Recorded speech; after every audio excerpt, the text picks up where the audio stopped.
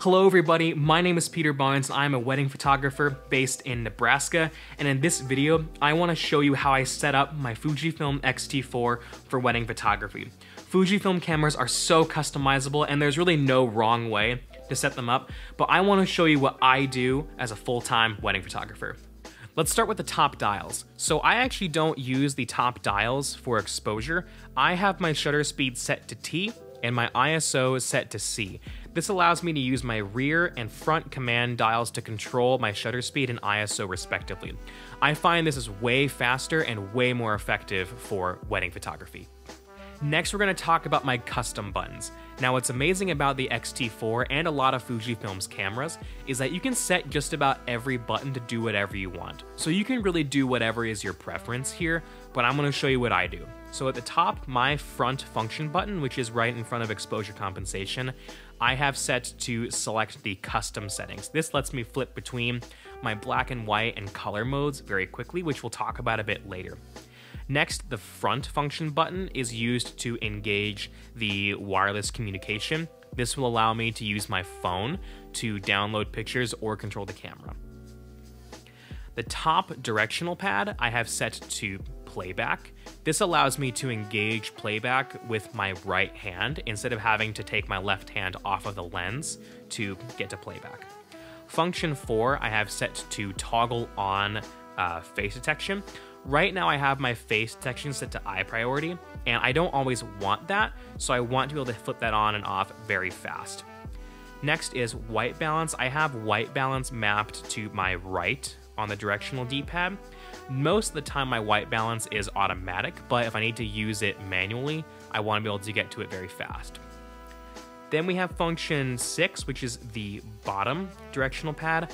I have this set to preview exposure and white balance in manual mode. Now this is great because most of the time I want my live exposure preview on my viewfinder and LCD screen, but when I'm using flash, I want to turn that off because your ambient exposure is usually very dark. So having that feature very easily accessible is really important to me.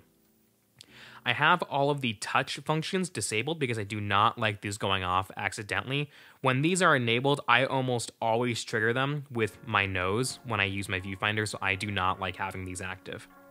My auto exposure lock I have set to IS or image stabilization mode. This is because I really don't like to use stabilization if I don't have to, so I always want to be able to turn that on and off very fast.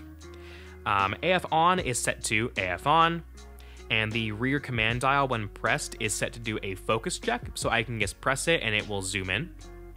And the Q button is set to the quick menu. Next, we're going to cover what's actually on my display. I like to keep things very, very minimal. When you first get a Fujifilm camera, there is so much information on the back screen, and I like to have as little information on my screens as possible. So all I have here are my shots remaining, my image quality, image stabilization, my focus frame, my eye detection, my shutter speed, aperture, and ISO, and my battery level. I find that is all that I need because I use the live exposure preview most of the time, but you can change pretty much all these settings. I like to have pretty much everything turned off, so that way all I have to focus on is my actual image. Now we're going to cover menu settings. There are a lot of settings in this camera and I'm going to skip most of them. I just want to cover the ones that I feel are most important. First is image size. I have this set to large so I can get the maximum resolution. Image quality I actually have set to RAW plus JPEG, normal. And I do this because on Fujifilm cameras, when you have a JPEG next to your RAW files, when you go to play back your images, you can actually zoom in a lot further with your JPEG than if you just had RAW files, and I find that extra magnification is really useful. This also allows me to use my Instax Share SP2 printer to make same day Polaroids for all the weddings that I shoot. I could do that same thing with the in-camera RAW conversion, but I find it's a lot quicker to already have the JPEGs, and it really doesn't take up that much extra space. What does take up extra space is your RAW recording. I have it set to lossless compressed. I just find that there is no difference between lossless and uncompressed, and having lossless compressed gives you so many extra pictures. On a 128 gig SanDisk Extreme Pro card, I get 3,000 pictures even, and I find that, that is more than enough for what I am doing. After this, we start getting into the custom settings. So like I said earlier, I use my front function command button to access my custom settings. This is all of my color ones. So right now I have my film set to Pro Neg High, which is my preference, but you can really use any of the color ones. Then for grain, I have that turned off, color chrome off, FX off, white balance is automatic, dynamic range is 100. The tone curve I have set with the shadows with a plus two adjustment. That just pushes the contrast a little bit. This is so that way if I show a client a picture off the back of the camera, it's gonna already look pretty good. This does not affect your raw files at all.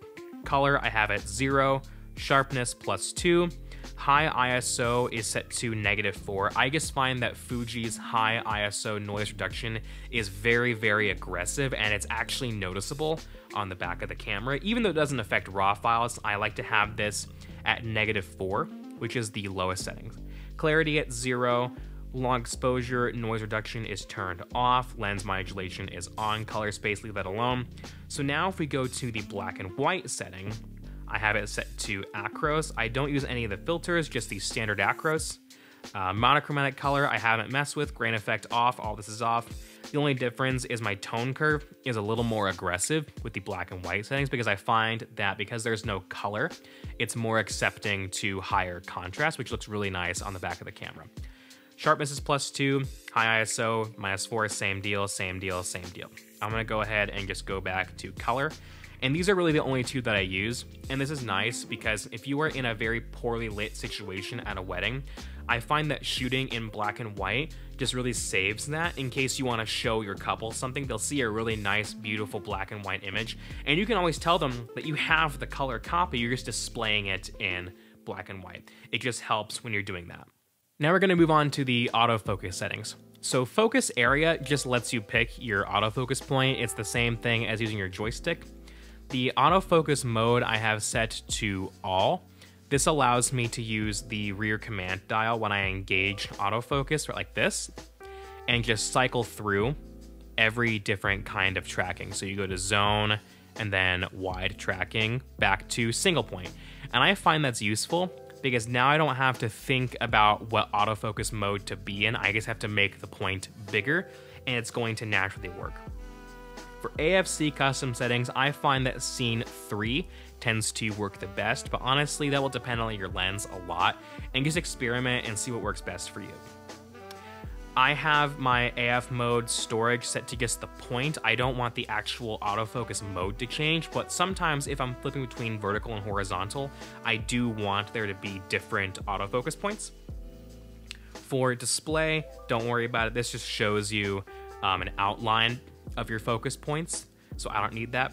I actually like to have my focus points. I leave it at the default 117 because I find that at a wedding, there are a lot of times where I need to go to various different parts of the frame, and I just find that having the smaller number of points makes that far easier. If I had the full 425, it just takes longer to get to another part of the frame, and I don't like that, so I have it set to 117. Pre-AF I have turned off. That will save a lot of battery power because pre-AF is just the camera constantly trying to autofocus. So that way when you actually go to half press the shutter, you're closer to your subject. But I think it makes the camera feel really weird and it does take up a lot of battery. The illuminator is turned off because I think it's annoying. Um, face and eye, again, that's already covered with my custom button, so we're not gonna worry about it. MF Assist, I have set to peak because when I'm using my Mitakon 35, I need to have focus peaking. Focus check is turned off. So what that is, is when you're in manual focus, if you have focus check turned on, every time you turn the focus ring on your lens, the camera will automatically magnify in. I don't like that because I like to have my composition more readily available. I don't want it jumping in and out all the time. Uh, release and focus, I set both of them to release because I find that the camera will sometimes miss focus, but it rarely ever takes too long to focus. And for wedding photography, I would much rather capture a moment but have it be a bit blurry versus not getting it at all. Uh, then touchscreen I have turned off because again, I do not like the touchscreen going off on its own. Now we're to cover the shooting settings. I don't use most of these. Uh, my drive setting is set to 15 FPS for the continuous high, but I don't use that too often. Sports Finder, most of the stuff I don't use for weddings. Uh, photometry, I have set to average, but if you're getting some weird exposure readings, you might try one of the other ones. For shutter, I almost always have this on mechanical. I just find it's the most uh, forgiving as far as lighting goes. Electronic shutter is nice if you need complete silence, but I rarely do, so I have it on mechanical. Flicker reduction, I only turn that on if I'm noticing I'm getting some problems with flickering, and image stabilization mode, that's already covered with my custom button. I don't use auto ISO, but if you do, you will want to make sure that you set your range, so that way your ISO doesn't go crazy when you're shooting. Multi-exposure doesn't matter, and wireless communication, again, I have a function button for that, so that's all there is there.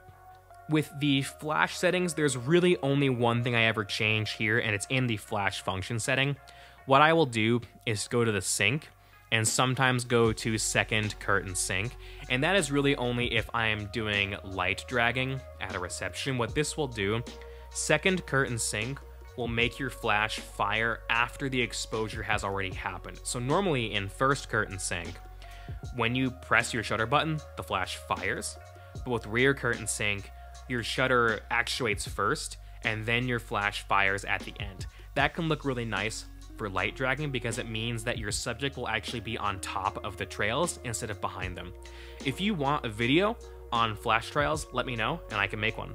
All right, now we're into the setup menu, which is where a lot of fun stuff happens. Um, user setting, I don't really use a whole lot, but if you want to take advantage of the My menu, you can. I don't really do that, but it's there if you want it. Um, sound setup, I have my AF beep turned off because I think that is super annoying when the camera is constantly beeping. And the shutter volume, I also have turned off. This controls the volume of your electronic shutter. I have that off because if I'm using e-shutter, it's because I want silence. For the screen, this is where you can adjust a lot of things. I have my EVF and LCD a bit brighter than normal, and I've made these color adjustments just to try to color match them to each other as best as I can. Image display, I have this turned off, but with this on, every time I take a picture, it will show you that picture after you take it. I don't like that, so I have it turned off. Auto rotate is turned off. Um, again, this preview exposure, that's taken care of with a custom button. Natural live view, I have turned off because that looks weird. It turns off all of your um, film settings, and I just don't like how it makes it look. Then we go to display custom settings. This is where you're able to enable and disable everything that comes up on your actual display. So you notice I have a lot of these things turned off. I just have a few. So again, the framing outline, focus frame, manual focus indicator, that's nice when I'm using manual focus. Um, aperture, exposure settings, uh, photometry. This just shows me whether or not my eye detection is on or off. Shutter type, uh, continuous mode. So if I go to continuous high, I want to see that on the screen so I can know if I'm about to run off a bunch of pics. Uh, IS mode, again, whether or not it's going to show me the IS mode and frames remaining. Uh, all of this stuff is for um, video shooting and then battery level. So that's all I have there. Then for button and dials, again, this is a lot of the same things that we covered earlier for the quick menu, I have my photo menu pretty light because I don't use most of these. Selector button, you want to have this on FN button, not focus area. If you set it to focus area, your directional pad will no longer perform functions. They will just change your focus point, which is pointless because you have a joystick to do that already. Command dials, This is if you want to change which dial does shutter speed and um, ISO, but I like having it in its default setting. Shutter AF, I leave on. This, you can turn this off if you want to do back button focus. Shoot without lens, I have to have turned on because my Mitakon 35 doesn't have any contacts. So when I put that on the camera, the camera thinks there is no lens. Shoot without card is obviously turned off. And touchscreen, again, everything else is turned off. Power management, I have the auto power off turned off because I hate it when I would go for my camera and it's turned off and I have to flip the on and off switch. Performance is on boost because I find that the battery life is really good even in boost mode and you get a nice boost to your um, frame rate and autofocus. So save data is just all of the uh, file name stuff. So frame number I have on continuous so that way even after I format um, it will show me the continuous counting of all my frames. And then card slot settings I have set to backup. So that way, even though I'm shooting RAW plus JPEG, I want all of those to go to both cards. Again, it is so important when you're shooting weddings that you are backing up all of your images. This is not negotiable. You have to do that. You cannot do a wedding again. Do not take the risk. Don't let your card break on you. And then you just have your connection settings. You just have your uh, Instax here, which I have connected to my Instax printer. As well, you can use this to set up your phone, but that is really it for the connection settings. And in fact, that's it for all the menu settings too. There is a lot in there, and again, I just covered what I felt was the most important for wedding photography. So that is how I set up my Fujifilm X-T4 for wedding photography.